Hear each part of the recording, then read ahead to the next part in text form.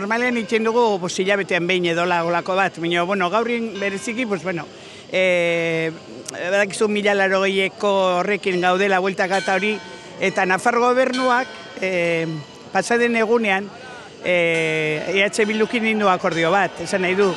Karo, guk eskatzen genuen mila laro orain, bai? Baina e, ez dago momentuz esan dute e, datorren urterako, 2008 bosterako ikusiko dutela nola egin eta hori. Egingo dute mailan talde eta hori. Orduan, bueno, e, gu hemen borrokatzen ari gara, ikusten ari gara, bueno, pozik gelditu gara ikusita ja sartu dutela beraien egutegian, gaina sinatu dute pues, e, gobernua, EH Bildu eta gure e, gero bai, eta gero zurekin Podemos ere.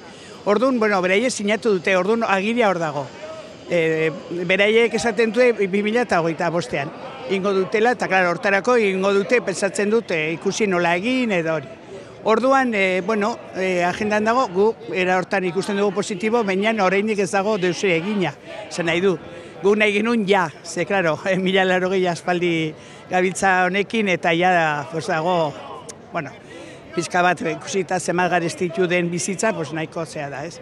Baina, bueno, hor jarraituko dugu, gu, kastelenero borrokatzen eta eskatzen, jarraitzea. Dena dela, Nafarrotik badugu itxaropen hori, pues, datorren urterako, orain arte ez dute hola agendan jarri, horren garbi. Ordu mero, era hortan positiboa ikusten dugu, ikusiko dugu, jarraituko dugu borrokan. Eta dena dela borrokak esan nahi du, borroka itien badlima duzu, agian zerbait lortzen duzula.